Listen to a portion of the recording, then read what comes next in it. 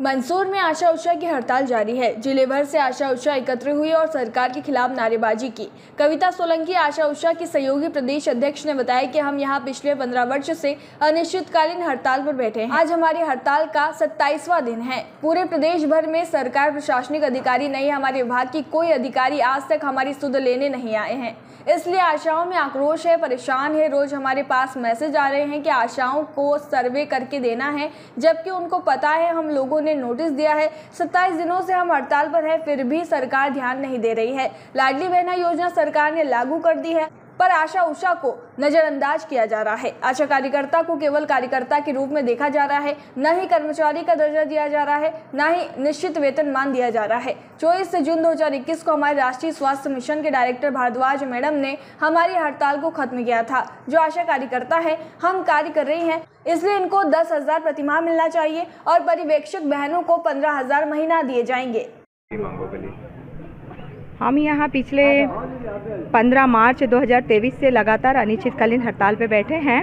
आज हमारी हड़ताल का सत्ताईसवां दिन है पूरे मध्य प्रदेश में और सरकार और सरकार के प्रशासन के अधिकारी और ना ही हमारे विभाग के कोई अधिकारी, आशा कार्यकर्ताओं की कोई सूद लेने के लिए आए हैं कि आशा बहनें इतने दिनों से हड़ताल कर रही है।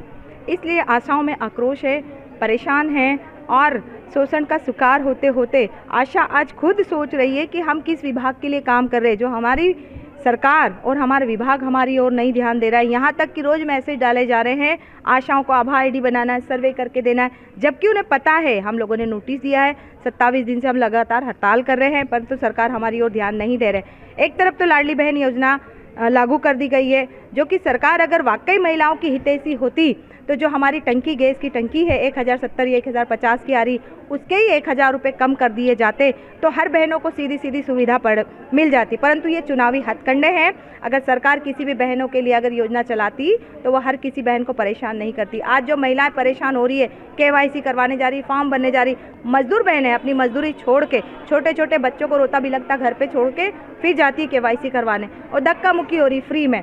अपने आप को मामा कहने वाले मामा हमारे, परंतु बहनों को कोई मामा नहीं है और इन बहनों का कोई भाई नहीं है। यहाँ तो हम मांग मांग कर रहे हैं कि आशा कार्यकर्ता जो इतनी निश्चित कर्मचारी के रूप में काम कर रही है, जिसको कि एक सिर्फ़ कार्यकर्ता के रूप में दिया, देखा जा रहा है। उनको सिर्फ़ कार्यकर्ता कहा जा रहा है, स्कीम वर्कर के तहत। ना तो उनको निश्चित कर्मचारी का दर्जा दिया जा रहा है, ना ही उनको निश्चित वेतनमान दिया जा रहा है। हमारी जब 2021 में अनिश्चितकालीन हड़ताल के दौरान 24 जून 2021 को हमारे राष्ट्रीय स्वास्थ्य मिशन के डायरेक्टर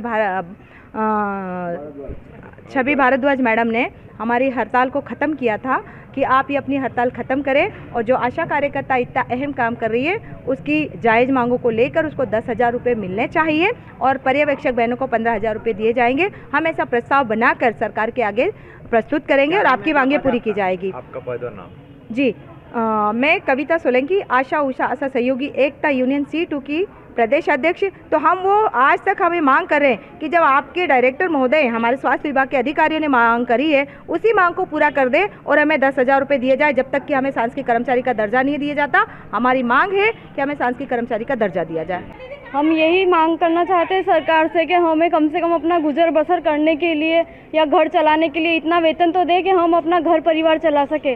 दो हज़ार में क्या होता है? सरकार हमें दो हज़ार रुपये देती है। क्या कर सकते हैं दो हज़ार रुपये से?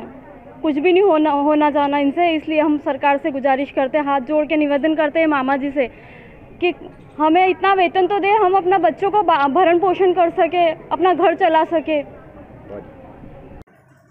मंदसौर से बीडी बैरागी की ये रिपोर्ट।